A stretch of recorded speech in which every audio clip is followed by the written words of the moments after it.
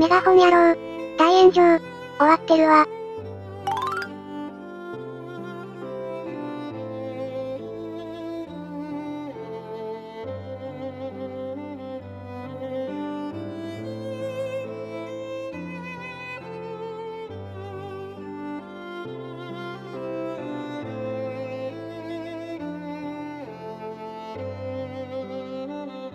これはマジでダメなやつやろ。だから3試合連続完封負けするんですよ。たった一人の行動がカープファンの質を下げる。こいつ晒し上げて出禁にしてやろうぜ。現地民によると、黒い服着てた奴らしい情報が入ったぞ。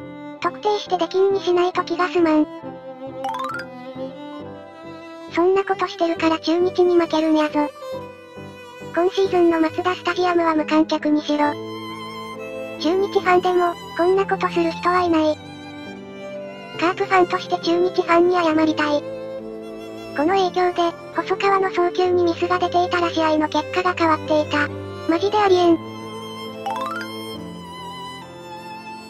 立浪、淳、出番やぞ。記事を見て思ったことはコメント欄へ、高評価もぜひよろしくお願いします。